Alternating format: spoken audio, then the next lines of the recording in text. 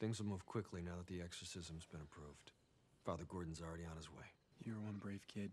I don't feel very brave.